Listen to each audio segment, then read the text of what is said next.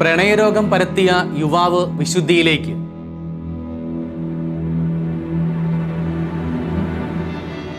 ചെറുപ്പക്കാർക്കിടയിലേക്ക് വൈറസുമായി ഞാൻ നുഴഞ്ഞു കയറും.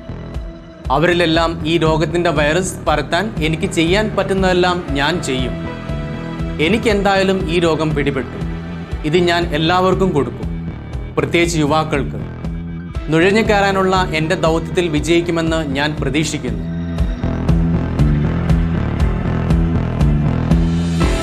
മെയ് ആറിന് ഫ്രാൻസിസ് പാപ്പ ധന്യൻ എന്ന പദവിയിലേക്ക് ഉയർത്തിയ മത്തയോ ഫരീന എന്ന പതിനെട്ടുകാരന്റെതാണ് ഈ വാക്കുകൾ. ജീൻസ് ധരിച്ച് ഇന്റർനെറ്റിൽ കളിച്ച് അടിപൊളി പാട്ടും പാടി സുഹൃത്തുക്കൾക്കൊപ്പം ചുറ്റിക്കറങ്ങി പ്രണയിച്ച് നടന്ന മത്തയോ വിശുദ്ധ പദവിയിലേക്ക് ചുവടുകൾ വയ്ക്കുമെന്ന് ആരറിഞ്ഞു. ഇല്ല ആരും ചിന്തിച്ചിരുന്നില്ല അങ്ങനെ. എന്നാൽ ഒരാൾ അപ്രകാരം സ്വപ്നം കണ്ടിരുന്നു. ദൈവം അതേ ദൈവത്തിന് അവനെക്കുറിച്ച് സ്വപ്നവും വലിയ പദ്ധതികളും ഉണ്ടായിരുന്നു.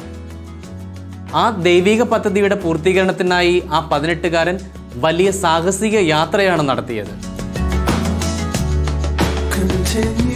ആയിരത്തി തൊള്ളായിരത്തി തൊണ്ണൂറ് സെപ്റ്റംബർ പത്തൊമ്പതിന് ഇറ്റലിയിലെ അബലിനോയിലാണ് മത്തയോ ജനിച്ചത്. അനുദിന വിശുദ്ധ ബലിക്കും ജവമാല അർപ്പണത്തിനും കൂടെ കൂടെയുള്ള കുമ്പസാരത്തിനും ഭരീന വലിയ പ്രാധാന്യം നൽകിയിരുന്നു. ഒൻപതാം വയസ്സിൽ വിശുദ്ധ പാദ്ര പിയോ ഒരു സ്വപ്നത്തിൽ അവന് പ്രത്യക്ഷപ്പെട്ടു.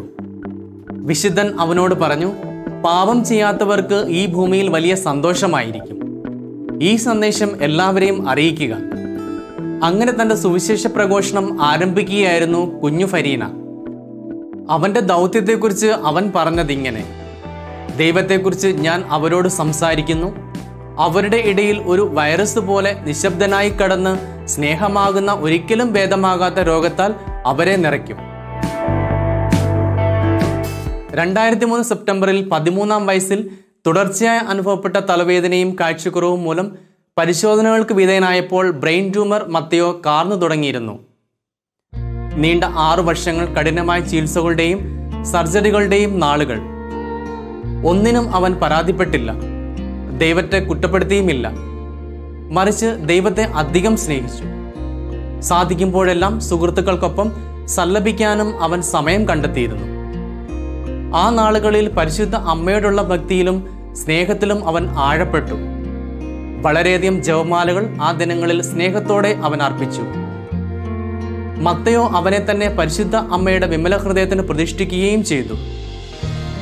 അവർണനീയമായ അവന്റെ സഹനങ്ങളിൽ പരിശുദ്ധ അമ്മ എപ്പോഴും സഹായവും തുണയുമായി കൂടെ ഉണ്ടായിരുന്നു.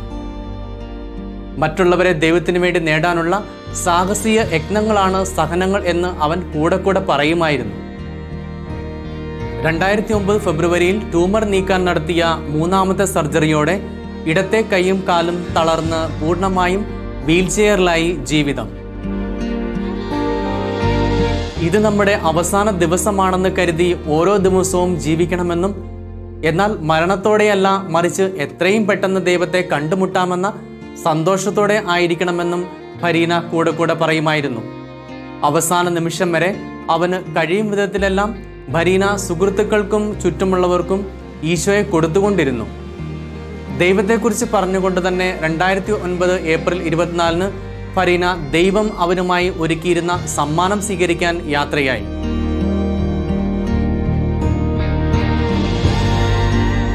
മിക്കി ഫരീന പോളോ ദമ്പതികളുടെ രണ്ടാമത്തെ മകനായ ഒരു ന്യൂജൻ അടിപൊളി പയ്യന് വിശുദ്ധ പടവുകൾ കയറാമെങ്കിൽ നമുക്കും അത് സാധിക്കുമെന്ന് ഓർമ്മിപ്പിക്കുകയാണ് ധന്യൻ മത്തിയോ ഫരീന.